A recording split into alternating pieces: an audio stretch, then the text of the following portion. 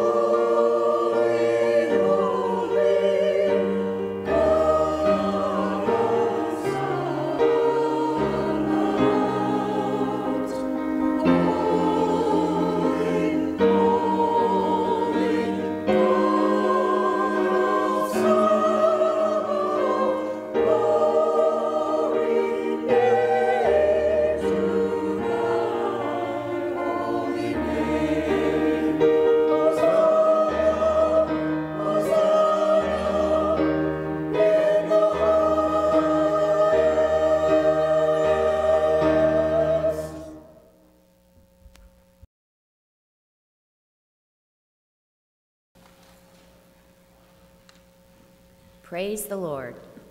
Praise, Praise God in his sanctuary. Praise him with the sounding of the trumpet. Praise him with the harp and the lyre. Praise him with tambourine and dancing. Praise him with strings and flute. Let everything that has breath play, praise the Lord. Praise, praise the Lord.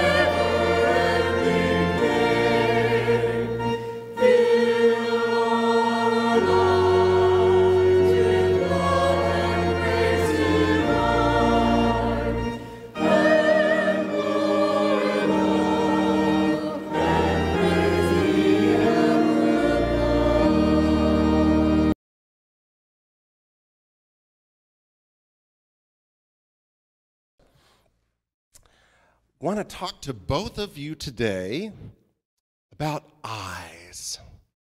You both have really pretty eyes. And you know, eyes communicate so many things. Like if you look at that picture right there, that's a really pretty set of eyes. What do you think that's communicating? Anything? I think they're smiling too. I think she's smiling. What about this one? Hmm. Looks like a horror movie. Well, I don't know about that, but I'd say she doesn't look very happy, right? Like that she's mad at someone. You're right. I'd, I'd say she's pretty mad. What about this one? Sad. I'd say that looks pretty sad too. She looks like she's maybe about to cry, or he does. What about the next one? Looks like a baby. You're right. It does look like a baby, but what are the baby's eyes saying? Smiling too.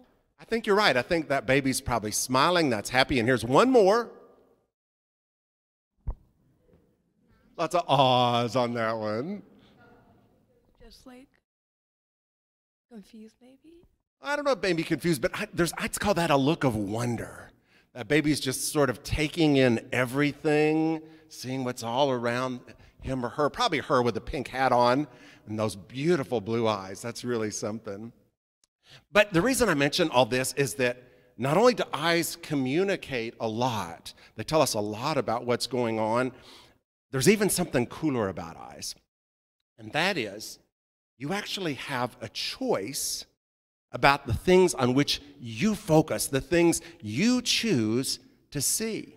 Even on a beautiful day when the sun is shining, you know, you can choose to focus on something that's kind of irritating and annoying, something that really ticks you off. And if you do that, you're going to have a really bad, beautiful day. And then, but it's also possible on really cloudy, yucky, awful days when everything's going wrong to find something something that is encouraging, something that's beautiful. And if you focus your eyes on that, you can actually have a really good day, even when other things are going wrong. And the reason I bring this up today is that the people of Israel in the book of Exodus, we've been talking about that the last several weeks, they had had a lot of bad days. They had some really bad days in Egypt as slaves. Then they had some really hard days in the wilderness because they didn't know how to live there. Then they got in big trouble with God by breaking some of his rules. That was a really bad day, too. But the cool thing is that God still loved them, God still cared about them, and God still gave them something on which they could focus their energy and their time. God helped them to actually build a sanctuary, what's called a tabernacle in those days. And whenever they looked at that tabernacle, they were reminded that God was still with them, God still cared about them, God still loved them. Now, our sanctuary is a little different than theirs, but the real message is still the same. People come here to hear a word from God and to be reminded that when they focus on God and what God has done in the world, life looks a whole lot better in all kinds of ways. So, with that, why don't we pray? Dear God, thank you for the opportunity we have to choose the things on which we focus. And this month, in which we're encouraged to develop a spirit of thanksgiving, help us in your mercy to focus well. For it's in Jesus' name we pray. Amen. God doesn't call us to a blind faith, but to a faith that is eye opening and mind expanding.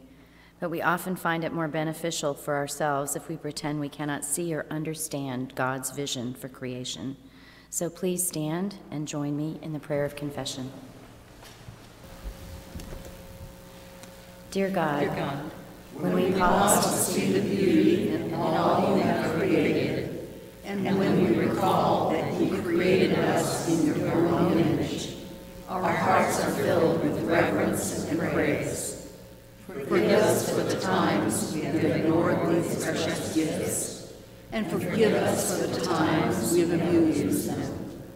Then show us how to join your work of recreation, so that our lives might be a source of inspiration to, through Jesus Christ our Lord. Amen. Amen.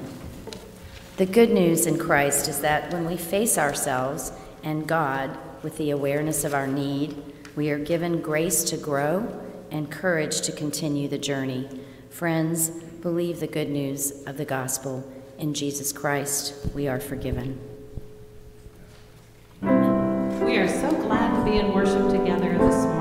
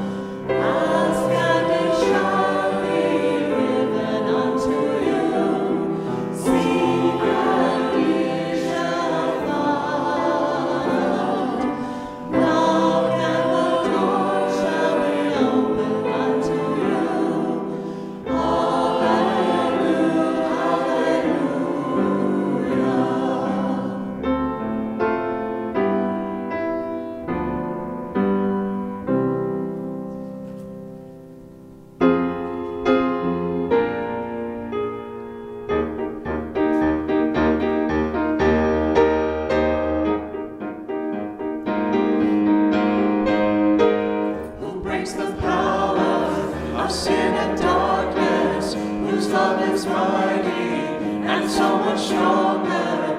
The King of glory, the King above.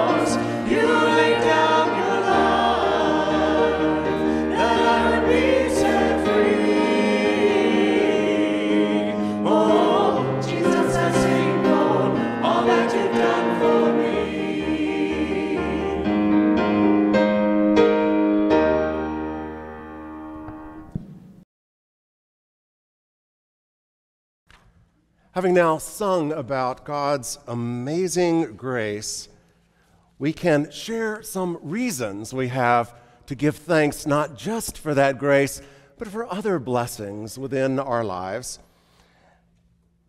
And on this particular Sunday morning, I think it's important for us to thank God for the work of our veterans, those who have labored so hard and fought so long to keep us free. It is our custom on this Sunday to recognize veterans who've served in various branches of the armed forces. So, in just a moment, I'm going to ask you to stand by service and just remain standing until the end. It won't take long. Let's begin with the U.S. Army. Any Army veterans here? Okay, fantastic. How about the U.S. Navy? Navy vets. Very good. We have any Marines in the group today? U.S. Marines? What about the Air Force? Air Force veterans? Thank you very much. It's also important for us, of course, to remember those who guard us close to home Coast Guard, National Guard. Do we have any veterans from those services? Finally, I think it's also important to us to remember armed law enforcement personnel who keep us safe. Anyone who has worked in that field, you are also invited to stand at this time.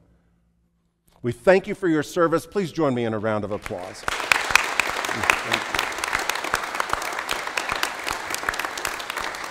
You may be seated.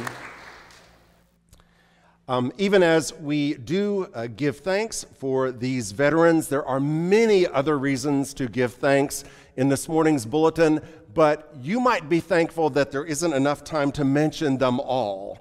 Um, so I'm going to invite you to take that bulletin home, study it carefully throughout the week, and learn some of the things that may be gleaned from it.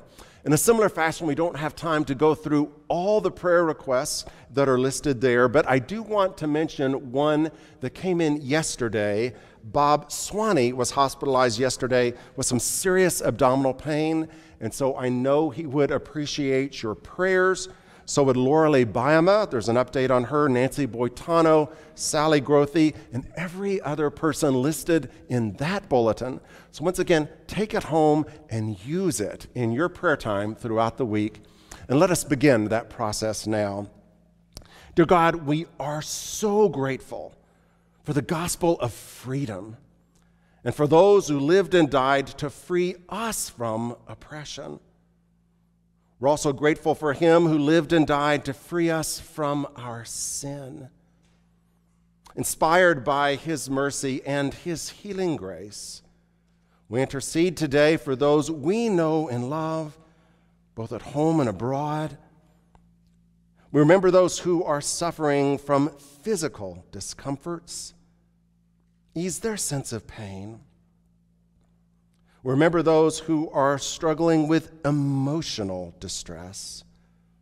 Wind down the many burdens that they bear. Remember those who are wandering into difficult or dangerous places. Save them, call them, draw them to yourself. And finally, God, we intercede for us that we might be your messengers of mercy, hope, and strength for the sake of Jesus Christ, our Savior. For it is He who taught us to pray by saying, Our Father, who art in heaven, hallowed be thy name.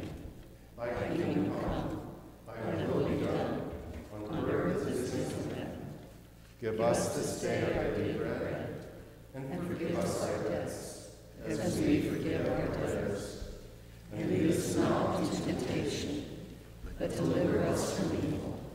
For thine is the kingdom, and the power, and the glory forever. Amen. This morning's Bible text is an answer to prayer, Moses' prayer, that God would go with his people in the wilderness. Up until this point, God has appeared on mountains, God's appeared in hailstorms, God's appeared in fire. But those images of God were not very accessible to most people in that day. So, in answer to Moses' prayer for companionship, God instructs Moses to build a tent, an extremely elaborate tent known as a tabernacle, in which God's presence could be seen and felt. This tent brought God much closer to the people he sought to lead. It also revealed some distinctive aspects of God's character that had not yet been seen in Exodus. There's a lot of detail here. You can't possibly grasp it all in first reading, but there's a lot of beauty too. So I invite you to listen carefully for this aesthetic side of God.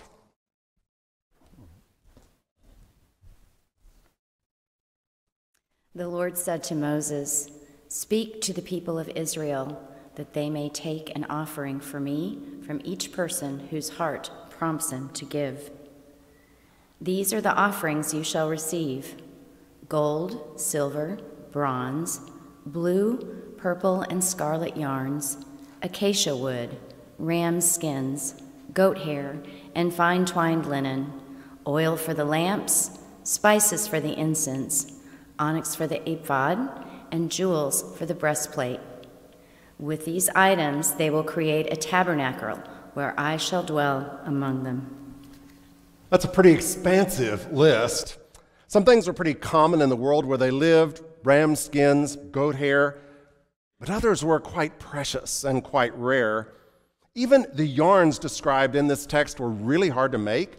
Scarlet, for example, came from a very special worm that was crushed to make red dye. And while the colors blue and purple came from shellfish, crushed shellfish. But it took thousands of those shells just to make a single pint of dye. So this was not going to be just some shabby tent in the wilderness. The goat hair would protect it from the elements, but once you got inside, it was spectacular. Make the tabernacle with ten curtains of fine twined linen and blue and purple and scarlet yarns. You shall make them with cherubim, skillfully worked into them. Each curtain shall be six feet wide and 45 feet long. Five curtains shall be coupled to one another to create much wider panels, and you shall couple them with 50 clasps of gold. Join two of them join two of these sets so that the tabernacle may become a single whole. For those of you who are mathematically inclined, this mm. creates a really big tent 45 feet long, 15 feet wide, 15 feet high. Pretty impressive back in those days. We don't know exactly how the cherubim were inscribed. They might have been embroidered, or there might have been a gold leaf applique. But we do know they weren't babies, flying little babies. That was in medieval art and Renaissance. Back in the biblical days, chances are that these cherubim would have been rather fearsome overall, either flying animals or men. Outside the tabernacle, build a bronze laver with which the priests can wash, and an altar of acacia wood that is five feet high, seven feet wide, and seven feet long. Place a horn on each corner of the altar and overlay the altar with bronze. Make a grating for it. Then make a bronze ring at each corner of the altar through which long poles can slide. This altar should be hollow so that it may be carried with those poles. For those of us who like to barbecue, this is an interesting tidbit. Until I read this text the last week, I didn't realize that the altar in Exodus was hollow, was not made of stone, was completely portable. So, in that sense, sort of like an enormous backyard grill.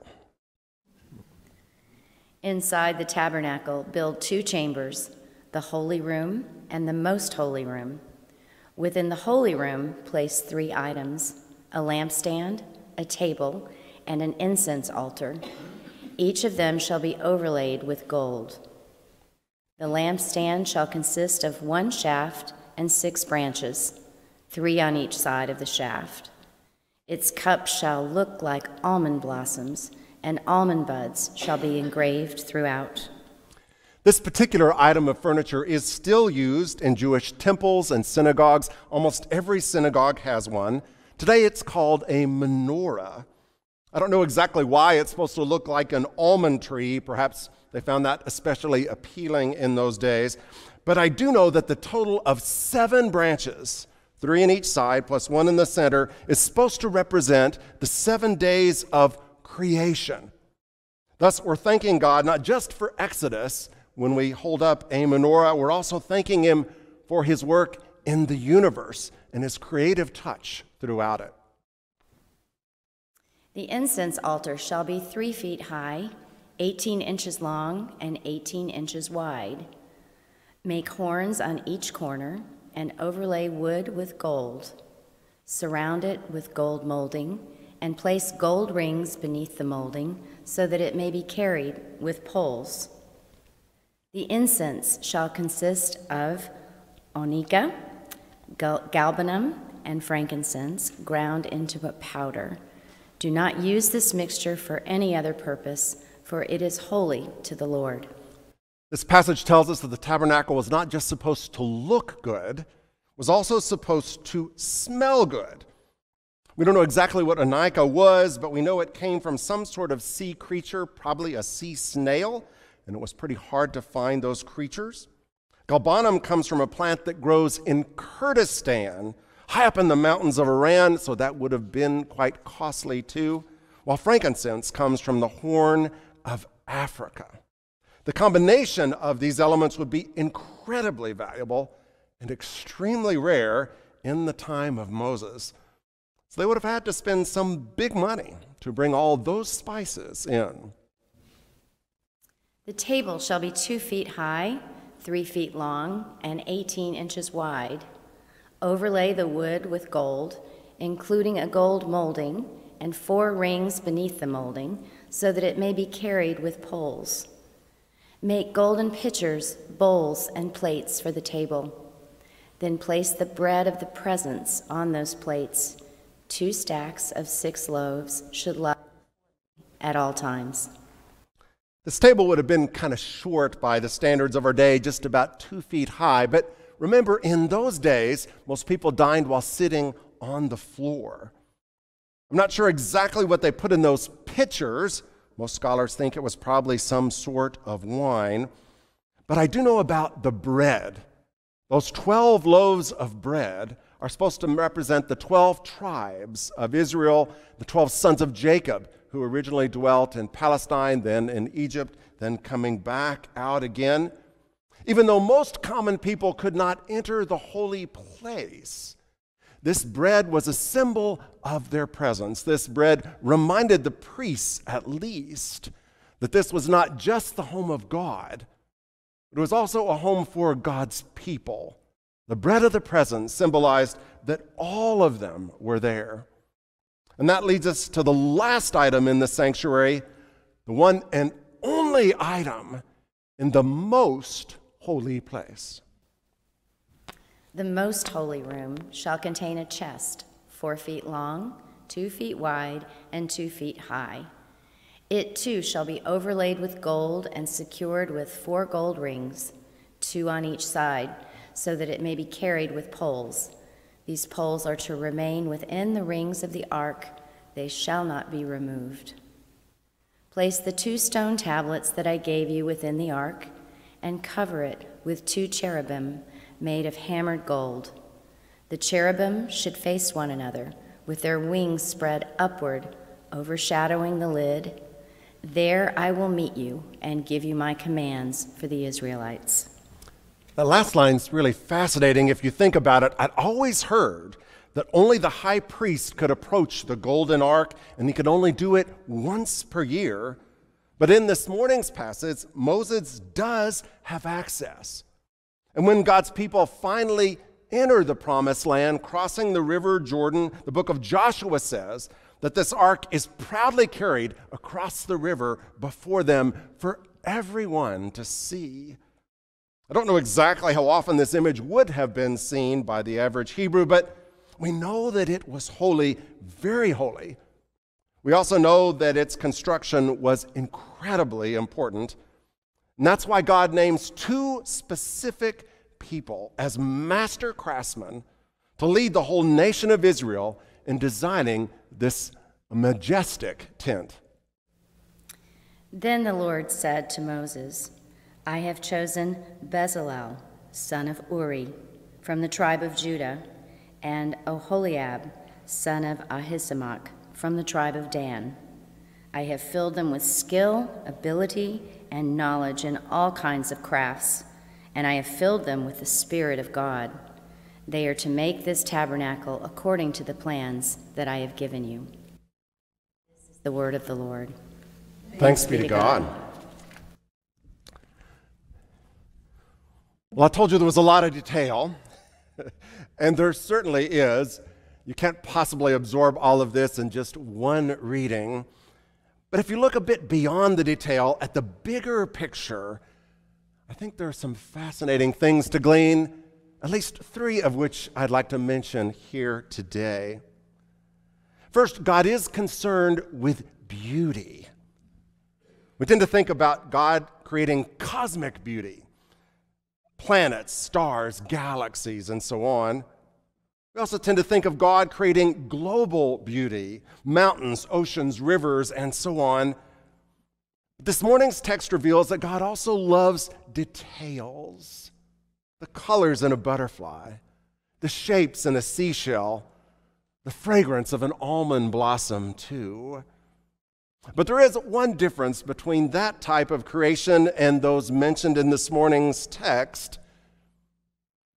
In this morning's text, God does not work alone. Instead, God invites us to participate in creating beauty. God doesn't do this alone, He works with us. The fabrics in the text are beautiful. The furnishings in the text are beautiful. The odors in the text are beautiful. And God directed these 12 nomadic tribes to make them. Now, some of you might be thinking, how in the world can 12 nomadic tribes come up with all the cash for this stuff? And there's at least a couple of answers to that. First, uh, the book of Exodus tells us that before they left Egypt, they were invited to receive gifts from their former masters, and they expropriated these gifts with them when they went into the wilderness. Second, Exodus tells us that there was actually a population boom. Begins in chapter one of that book. That's one reason Pharaoh's a little scared of the Hebrews. They're growing too fast. And it continues throughout the book of Exodus, so that by the time we get to Numbers, we're told there are 30,000 people all together in this group. 30,000 people can do some pretty big things when they put their minds to it, and evidently they did, based upon this morning's text. Of course, we don't have that many people, we don't have that kind of money either. But here at Grace, we do have the ability to make beauty. And we also have some people who have worked hard to make that happen our Bezalels and Oholiabs. It starts outside the building with those who spent countless hours on our landscape grasses, flowers, trees, and shrubs. Continues inside the building with those who design this big open space and those who work so hard to keep it both comfortable and clean some of them were here yesterday making sure that these lights worked. Continues as you go forward in the sanctuary to this table. So beautifully crafted today. I'm pleased to report that will continue throughout the month of November. And then, of course, when November is done and we move into Advent, this whole sanctuary will be decorated. Every one of you will have a chance to join God's creative work as well.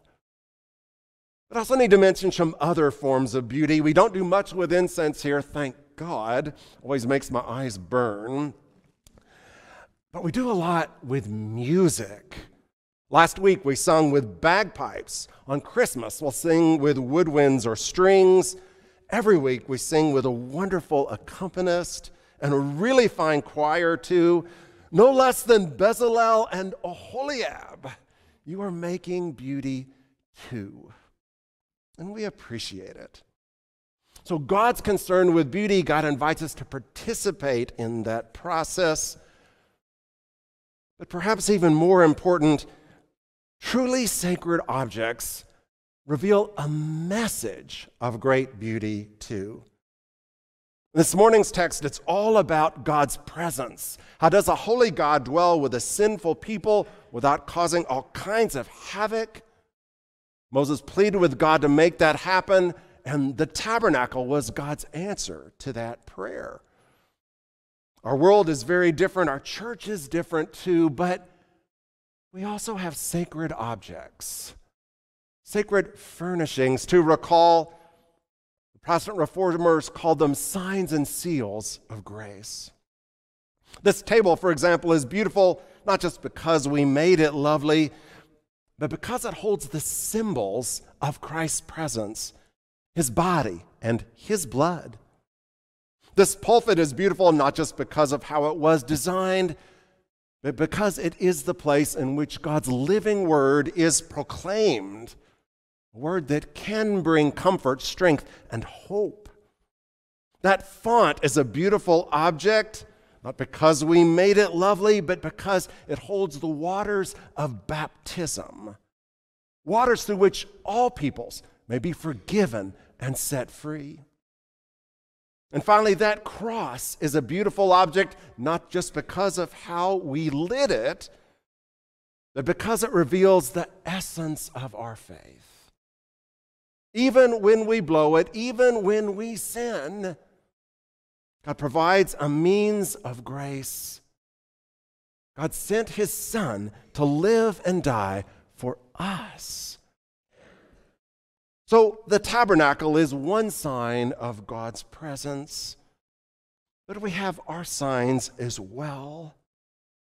And every one of them can help us to recall who our God is a God of beauty, a God of mystery, a God of wonder, a God of strength. But most important of all, a God who chooses to dwell with us and free us from our sin. Scripture teaches us much more about that God, the God we know in Christ. It tells us that on the night he was betrayed, our Lord took bread. Having given thanks, he broke it, saying, This is my body, broken for you. Do this as often as you eat it, in remembrance of me. In a similar way, after supper, he took the cup, saying, This is the cup of the new covenant in my blood. Do this as often as you drink it, in remembrance of me. And finally, the apostle reminds us that as often as we eat this bread and drink this cup, we do proclaim the Lord's death until he comes again.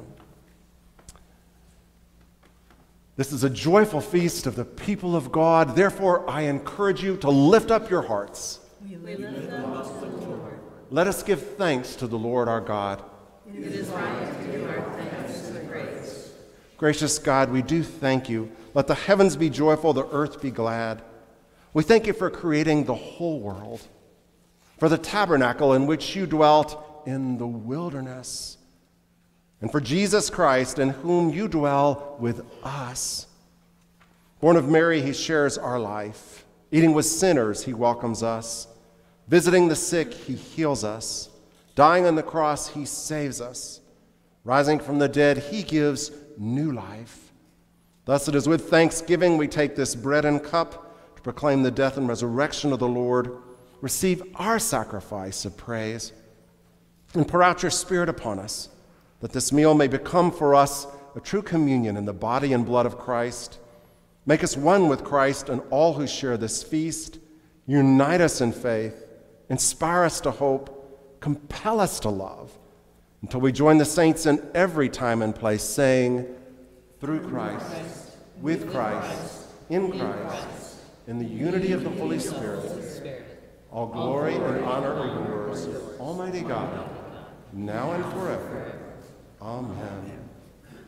Having just mentioned the great company of saints found in Scripture, it is also important for us to recall that we do share the faith of those saints, a faith that has been traditionally expressed in the Apostles' Creed. Thus, it is our custom on Communion Sundays to share that creed together. I invite you to join me in it now. I believe in God, the Father Almighty, maker of heaven and earth, and in Jesus Christ, his only Son, our Lord, who was conceived by the Holy Ghost, born of the Virgin Mary, suffered under Pontius Pilate, was crucified, dead, and buried. Descended into hell. The third day he rose again from the dead. He ascended into heaven, and sitteth on the right hand of God the Father Almighty. From thence he shall come to judge the quick and the dead. I believe in the Holy Ghost, the Holy Catholic Church, the communion of saints, forgiveness of sins, the resurrection of the body, and the life everlasting. Amen. In just a moment, we will invite you to receive both the bread and the juice. If you are new to us today, you might need to know that there are actually two lids. A clear one releases the wafer, the full one releases the juice, and you are invited to consume both of those as our choir sings.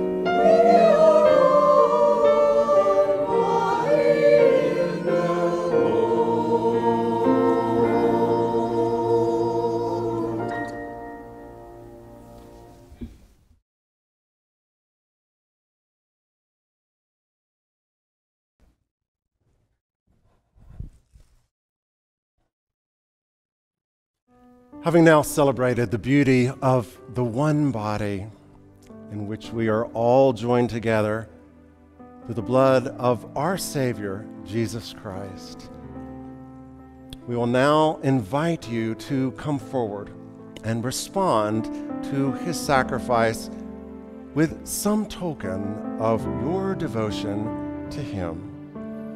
As I mentioned at the start of the service, we don't expect this of visitors.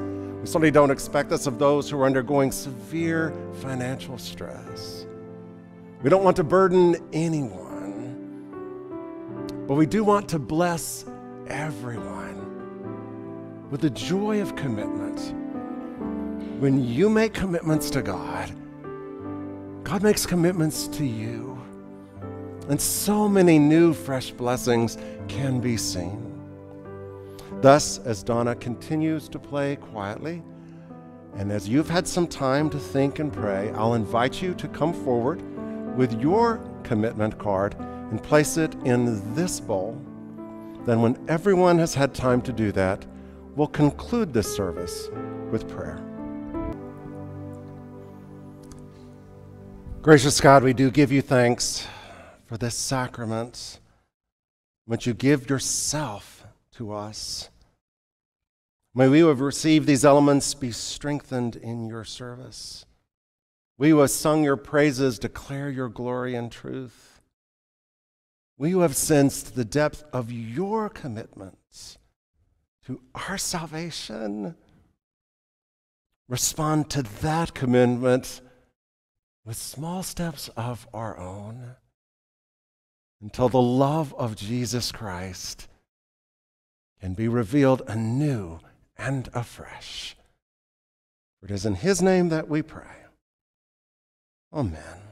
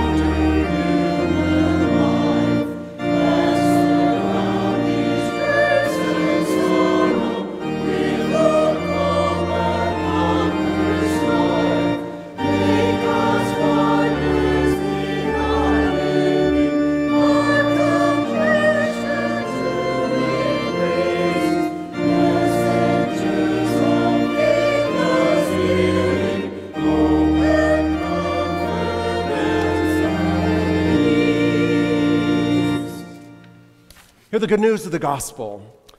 Wherever you go, God goes with you.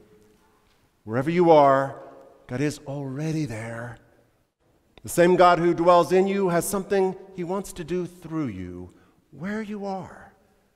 So go forth with God's blessing to bless the lives of others, remembering that Christ walks with you.